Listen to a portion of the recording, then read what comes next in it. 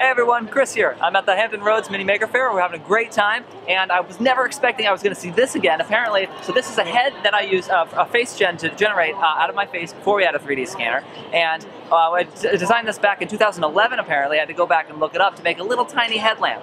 But uh, I had no idea. That's why I love open source so much. Is I just like to put out there whatever we whatever we build and see what other people uh, do with it. Apparently, this uh, blown up full-size version of my head has been used at NASA Langley Research Center for, for years apparently to test their uh, latency tracking in uh, uh, augmented reality equipment. So we're really excited about that.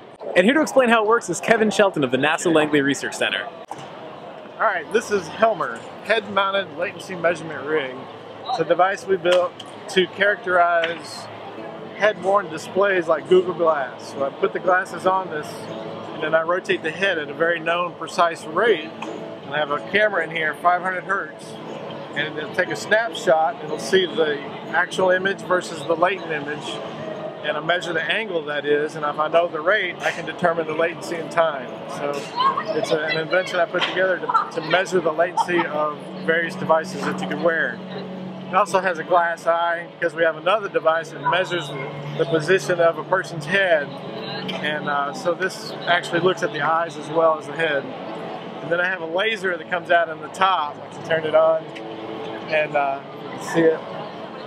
I can see where it's pointed and I know very precisely that where it's pointed. And uh, that was so So I had a student build this head to be a 50% anthropomorphically correct human male size head. And he tried at first, but he couldn't find a head, uh, or he couldn't build a head to make it nice enough. So he found this one on Thingiverse, and he scaled it to all the correct uh, percentile, and uh, call it Helmer.